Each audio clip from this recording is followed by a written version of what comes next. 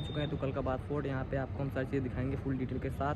तो आप वीडियो में लास्ट तक बने रहें। अगर आप हमारे चैनल पर नए हैं तो वीडियो को लाइक करके चैनल को सब्सक्राइब कर दें जिससे हमारी हर वीडियो आप तक सबसे पहले पहुँचे। तो चलिए हम इस वीडियो में आगे बढ़ते हैं। बात करें यहाँ की लोकेशन की तो यह किला बदरपुर महरौली रोड पर स्थित है। आप यहाँ पे जब भी आएँ थोड़ा बंदर से सावधान रहें। यहाँ पे बहुत सारे बंदर हैं ये आपके सामान छीन सकते हैं। यहाँ की टाइमिंग सुबह सात बजे से शाम पाँच बजे तक है। आप सात से पाँच के बीच किसी भी टाइम पे यहाँ पे आ सकते हैं। बात करें यहाँ की टिकट प्राइस की तो ऑनलाइन टिकट बीस रुपये की है ऑफलाइन टिकट पच्चीस रुपये की है। आप ऑफलाइन या ऑनलाइन टिकट ले सकते हैं। दोस्तों हम जिस ब्रिज से अंदर जाते हैं किले की ओर और, और मकबरे की ओर ये दोनों ब्रिज पहले आपस में जुड़ी हुई थी। अभी तो यहाँ पर रोड बन चुका है लेकिन ये पहले आपस में जुड़ी हुई थी। बात करें इस किले की तो इस किले का निर्माण गयासुद्दीन तुगलक ने तेरह सौ इक्कीस में शुरू करवाया था जो कि कभी पूरा नहीं बन पाया।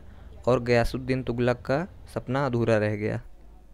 और दोस्तों, इस किले में आपको ऊँची ऊँची दीवारें और टीले देखने को मिल जाएँगी, जो कि घने जंगलों में देखने में काफ़ी सुंदर लगता है।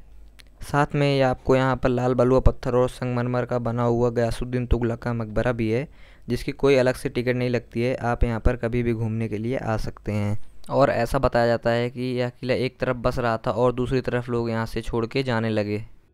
अभी हम इस तरफ़ जा रहे हैं, आपको दिखाएँगे कहाँ पे महल था और आपको बावली भी दिखाएँगे। तो चलिए हम अभी महल के पास चलते हैं पहले।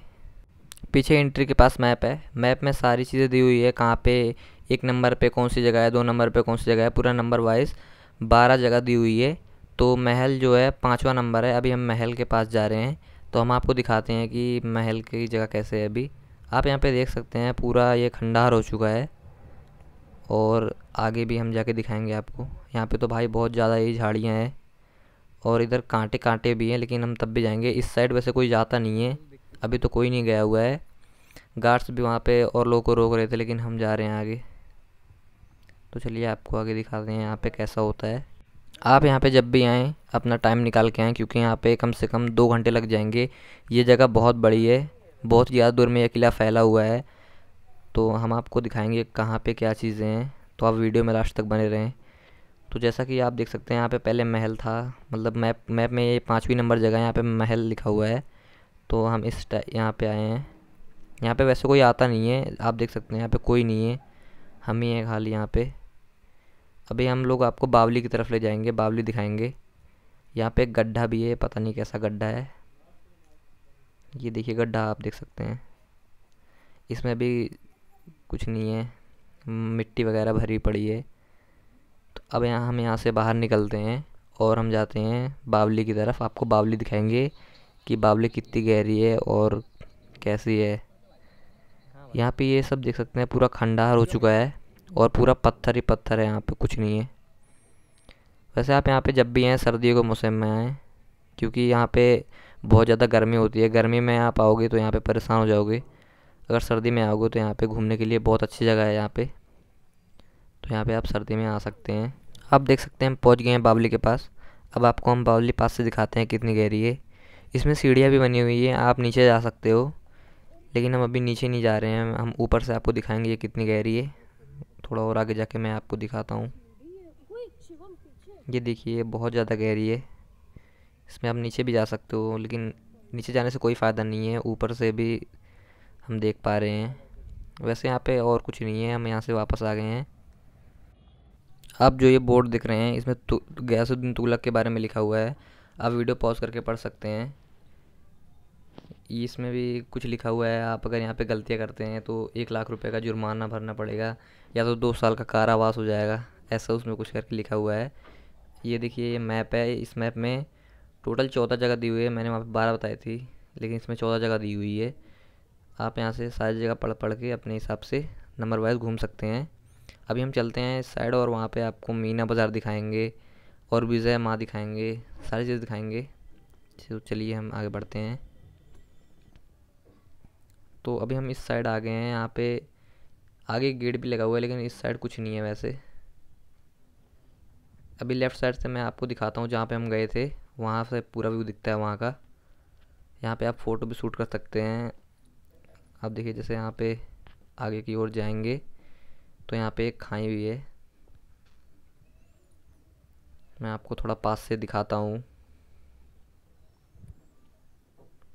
ये देखिए, इसमें नीचे इतने बड़े बड़े पेड़ हैं।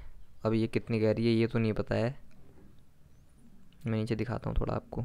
अभी हम वहाँ पे गए थे, जो महल है, यहाँ से दिख रहा है।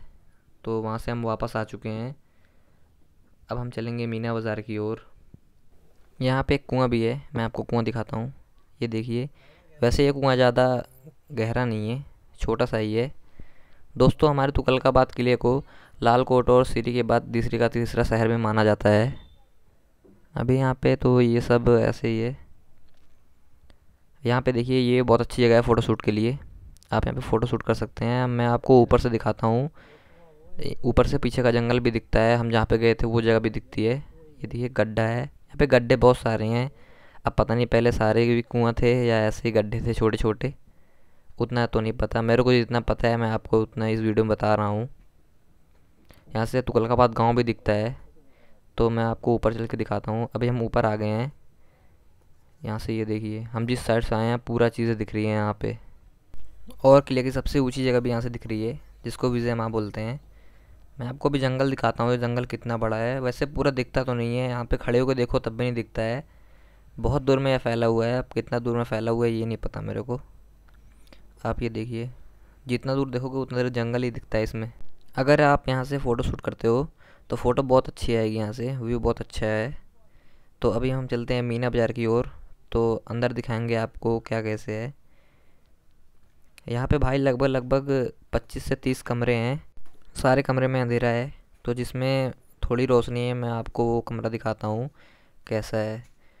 यहाँ पे अगर बारिश वगैरह हो जाती है तो आप अंदर नहीं घूम सकते हो, क्योंकि यहाँ पे बीच में खुला भी हुआ है। इसमें पानी भर जाएगा तो आप नहीं इसमें घूम पाओगे। ये देखिए, इस कमरे में उजाला था, लेकिन उसमें कुछ था नहीं, वैसे खाली था तो हमने कुछ नहीं दिखाया। इस मीना बाज़ार में पहले औरतें सामान बेचती थी और औरतें सामान खरीदती थी। यहाँ पे बाज़ार लगती थी, मीना बाज़ार नाम है इसका। तो अभी हम यहाँ से आपको ये रोड दिखाएँ, रोड भी दिखता है यहाँ पे और मकबरा भी दिखता है तो आगे दिखाते हैं। इस साइड लेफ़्ट में ना पूरा जंगल है, इस पर एक सुरंग भी है, लेकिन उस साइड पूरी झाड़ी है, उस साइड हम नहीं जाएँगे। ये देखिए यहाँ पे रोड भी दिख रहा है बदरपुर का, और यहाँ से मकबरा भी दिख रहा है, जूम करके आपको मैं दिखाता हूँ।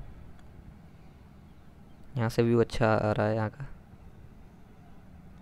ये देखिए, नीचे देखिए यहाँ पे रोड भी दिख रहा है। तो अभी हम चलते हैं वहाँ पे विजय माँ, जो सबसे ऊँची जगह है यहाँ की। वहाँ पे चलते हैं। वहाँ से गाइस पूरी चीज़ें दिखती हैं, वहाँ पे फ़ोटो बहुत अच्छी आती है।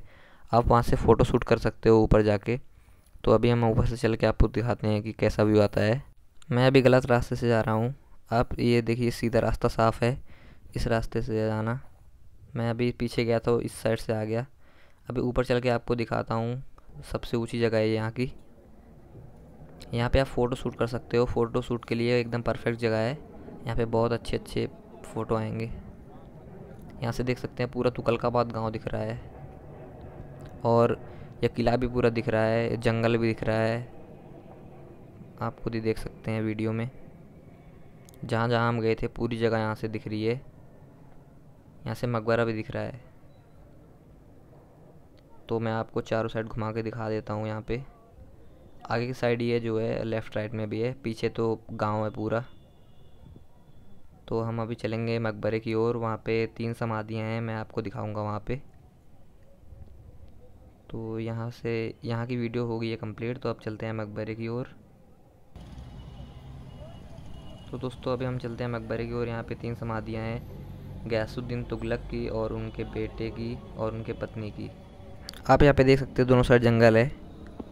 आगे मकबरा है, यहाँ पे तीन बंदर हैं। पीछे बहुत सारे बंदर थे। तो आप बंदर से थोड़ा सावधान रहें। अंदर तीन समाधियाँ हैं, एक गैसुद्दीन तुगलक की और उनके बेटे की और उनके बेगम की।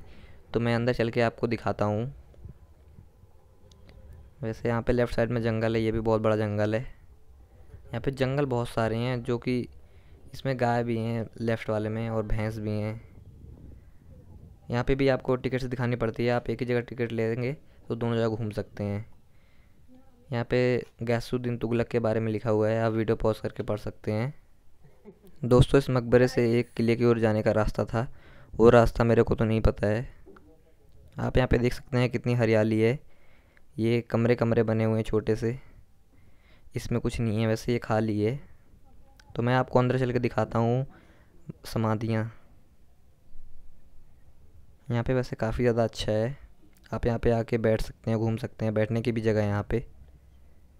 यहाँ से राइट साइड में बैठने की जगह है।